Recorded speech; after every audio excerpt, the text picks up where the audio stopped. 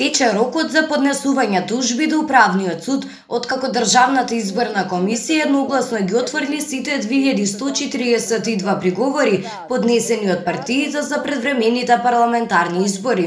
ДИК треба да ги достави одлуките до политичките партии и потоа почнува да тече 24 часовниот рок за поднесување на тужби, пошто управниот суд има 60 часа за да одлучи.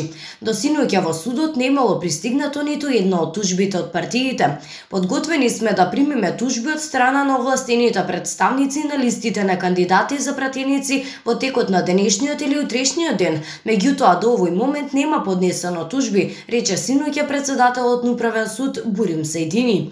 Извршена е ждрепката за советите за одлучување по избори, така што убедени сме дека управниот суд ќе успее навремено да ги изврши своите законски надлежности, а тоа е да донесе одлуки по поднесените тужби и да имаме официјални конечни резултати по држаните предвремени парламентарни избори за 2020 година.